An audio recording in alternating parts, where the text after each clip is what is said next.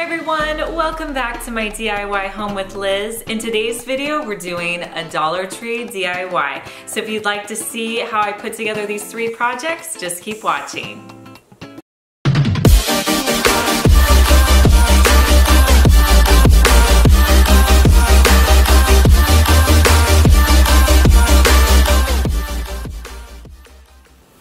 I would like to thank today's sponsor, Eco Peco Art. They sent me some cutting mats. They have amazing cutting mats, and you guys know as DIYers that we need to use our cutting mats.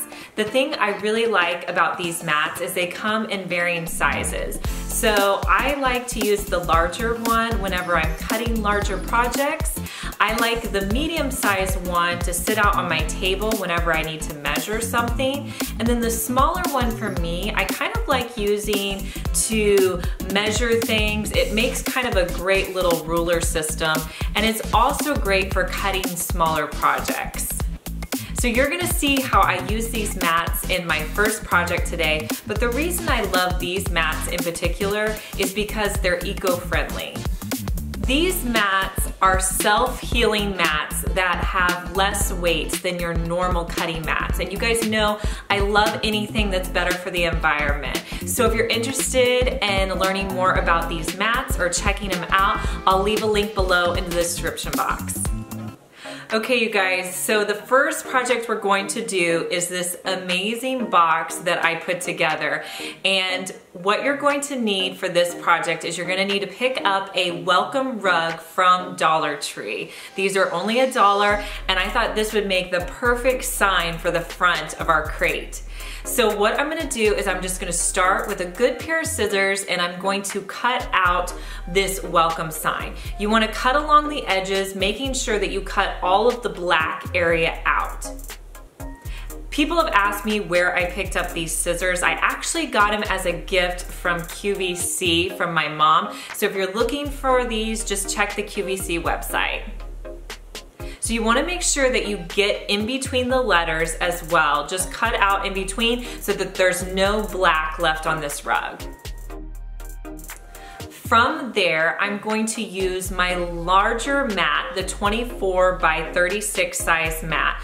I'm also going to be using this cardboard that I grabbed at Dollar Tree. This is one of those folding systems that they use for like science fair, but I grabbed one of these. It's just a, a thicker cardboard. So from there, what you wanna do is place your welcome sign on top of the cardboard. Then I'm gonna be using the medium size mat, the 24 by 18, to help me create a straight line. And I'm just gonna draw around this sign and create the front of my box. From there, I'm gonna create two more additional pieces that are gonna be about the same size. You're also going to want to cut these out with a rotary cutter, should work great. And the mat is perfect because you're not going to damage your table and it's a really great surface for cutting things like this.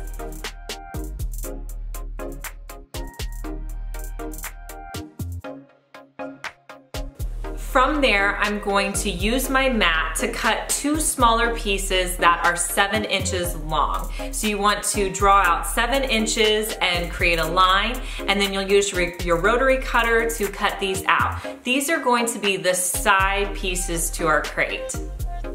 Next, you want to take your pieces outside and I am going to spray paint the edges and in the middle of this with black spray paint.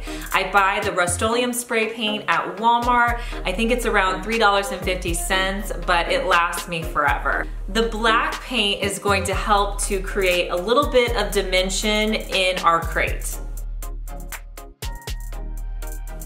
From there, you're going to cut out a piece of laminate that's the length of your cardboard. Then you're going to cut it into strips. It doesn't really matter how long your strips are. I think I counted in maybe five or six boxes on the back of the laminate paper and I cut it across. This laminate paper you can pick up at Dollar Tree. Next, you're going to apply the laminate to your cardboard. And I got this technique from Megan at Glue Guns and Roses. She did this on a sign, and I'll link her channel below so you can check out some of her videos. She's awesome. But what I'm going to do here is I'm just gonna take the laminate and I'm going to put it in strips on my crate, leaving a little gap, I would say about half a centimeter in between and you're gonna be able to see that black through and that's just going to give it more of a wood-like appearance.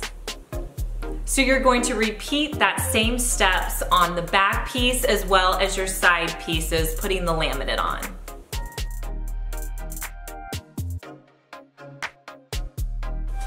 Now determine which of your longer pieces is your best piece and that's gonna be the front of your crate.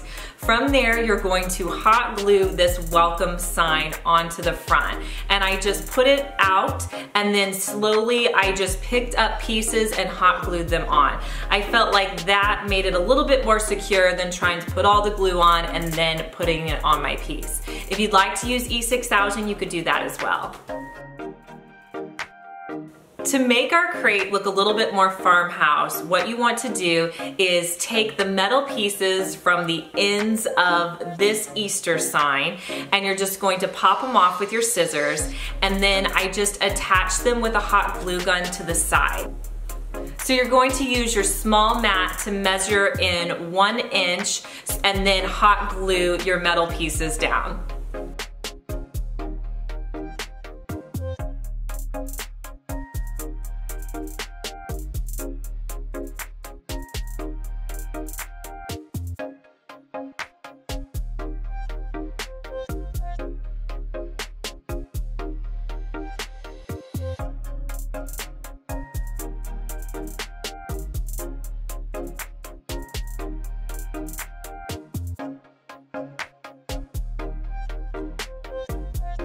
From there, you can fill it with whatever you like. I decided to put in four of my Ikea plants because you guys know I love these Ikea plants.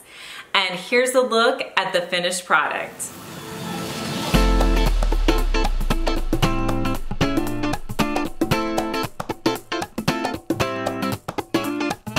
If you guys enjoy watching these DIY projects, make sure to subscribe to my channel. I post three to four DIYs each week and I don't want you to miss out on any of them. Okay, you guys, this next project is super easy, but I love the way it turned out. So I found this canvas at Dollar Tree and it says, don't go bake in my heart, which I thought was really cute. And I knew I wanted to do something with it. I also found this other sign that had that really cool top piece to it and I knew it would be perfect for some kind of farmhouse sign. So what you want to do for this project First, you're going to take your sign that's hanging on the string and you're going to paint the bottom of it. I'm just using some cheap black paint that I have from Walmart and you're just going to paint the bottom of this sign in black. I didn't do the whole thing, just the bottom. And then you're going to do two coats of the black paint. Next, you're going to get your canvas sign, take it out of all of the frame, and then you're just going to be left with the piece of paper. So from there, you need to cut it down so that it fits the length of the other sign. So I just centered it up, flipped it on the back, and then just kind of cut it down until it fit nicely into the middle of my sign.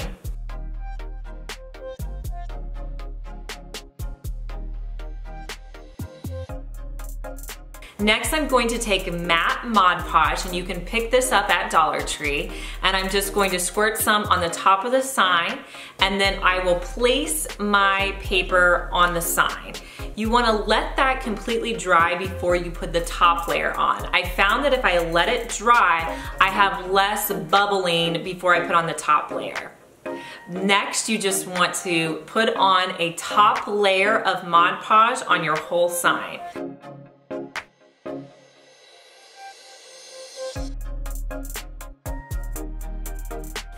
Let that completely dry and then you have an adorable sign that I think is perfect to hang in your kitchen.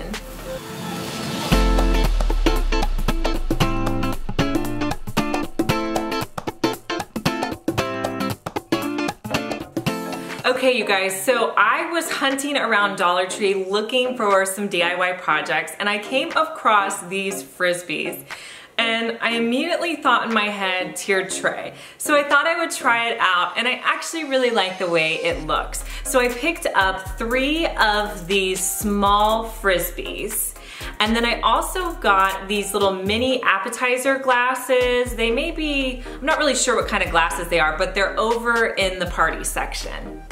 From there, what you're going to want to do is you're gonna cut up your Frisbees. So keep one of your Frisbees completely how it is. The second Frisbee, you're just going to go into the first opening and you're going to use a good pair of scissors and you're going to trim around the edges so that you just have a nice and smooth edge.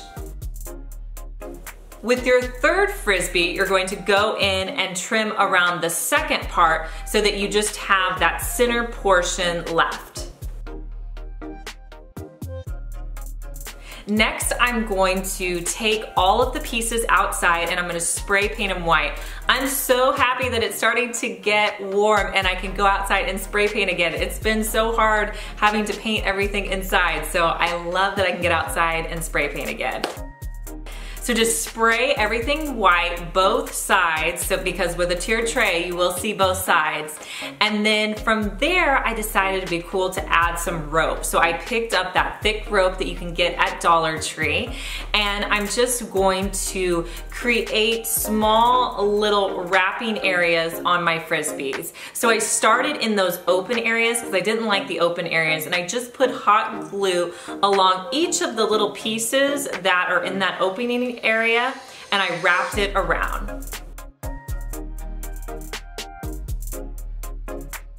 And so you're gonna do that with all three of your Frisbees.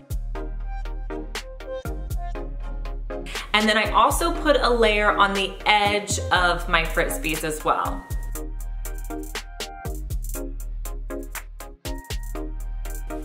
To assemble this, you're going to hot glue one of the cups to the bottom Frisbee.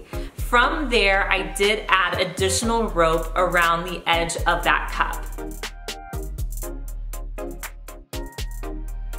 Then you're going to add the middle plate to the top of the cup. I'm just using hot glue. If you want it to be stronger, use E6000.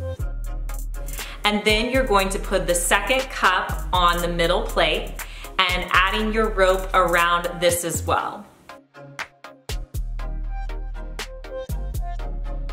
To finish it off, just put the small plate on top.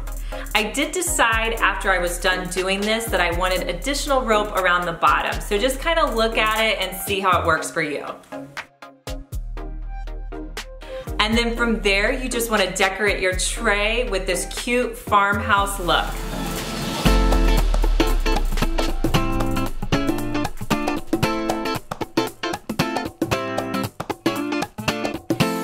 Guys are gonna have to let me know which of these three projects was your favorite. I don't know, I kinda like them all. It's hard for me to tell. So leave me a comment below letting me know your favorite.